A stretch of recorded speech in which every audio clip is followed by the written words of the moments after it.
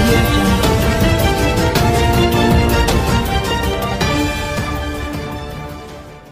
నవ్యాంధ్రప్రదేశ్ ముఖ్యమంత్రి గారు సెకండ్ ముఖ్యమంత్రి గారు. సెకండ్ అని ఎందుకన్నానంటే మొట్టమొదటి ముఖ్యమంత్రి గారు మా నారా చంద్రబాబు నాయుడు గారు కదా. అందుకని మిమ్మల్ని సెకండ్ ముఖ్యమంత్రి గారు అంటున్నాను. ఎందుకంటే ఇంకా నాలుగు సంవత్సరాలు మిమ్మల్ని మేము భరించాలా? అప్పటి వరకు మిమ్మల్ని మేము ముఖ్యమంత్రి గారు అనాలా? ఏంటి సార్ నిన్నేంటో సంబరాలు జరుపుకున్నారు? దేనికి జరుపుకున్నారు? ప్రత్యేక హోదా తీసుకొచ్చారా? లేకపోతే పోలవరాన్ని ఏమైనా కట్టేస్తున్నారా?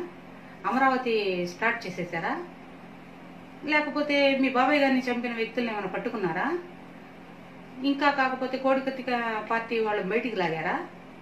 లేకపోతే ముసలి వాళ్ళకి పెన్షన్లు పెంచారా? ఉద్యోగం చేసుకునే పిల్లలకు వాళ్ళకి ఏమైనా ఉద్యోగాలు కల్పించారా?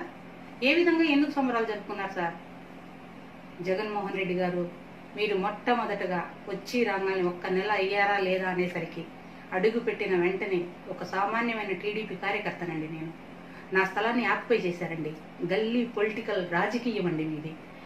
ఎంత దిగువ స్థాయి రాజకీయం అంటే మీ వైసీపీ ప్రభుత్వాన్ని గల్లీ వాళ్ళు వచ్చి నా స్థలాన్ని ఆక్యుపై చేశారు వైసీపీ ప్రభుత్వంలో.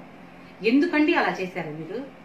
మీరేమో పెద్ద స్థాయిలో దుర్మార్గాలు చేస్తుంటే మీ నాయకులు కింద స్థాయిలో మా బోటోళ్ళని అనగదొక్కేస్తున్నారు అసలు ఇంత బాగానే ఎందుకండి? చంపేసేసేయండి సరిపోయింది కదా?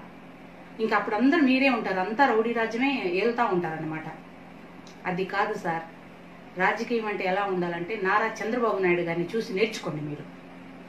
ఆయనకున్న విజన్కి ఆయనకున్న తెలివితేటలకి ఆయనకున్న నలభై సంవత్సరాల అనుభవానికి ఆయన దగ్గర మీరు శిష్యరికం చేయండి సార్. అప్పుడు మీరు పర్ఫెక్ట్ అయిన రాజకీయం అనేది ఏంటిది అనేది మీకు అర్థమైపోయింది అంతేగాని ఇట్లాంటి చిల్లర రాజకీయం చేయొద్దు సార్.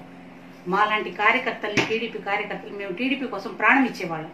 మాలాంటి వాళ్ళని అణగదొక్కాలని చూడవాకండి మాట్లాడితే కేసులని పెడతారు.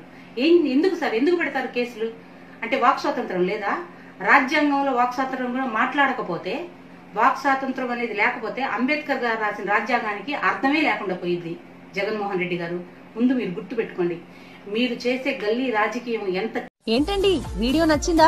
అయితే ఓ లైక్ వేసుకోండి. లేదంటే ఓ కామెంట్ చేయండి. ఎప్పటికప్పుడు మా వీడియోస్ చూడాలంటే సబ్స్క్రైబ్ చేసుకోండి.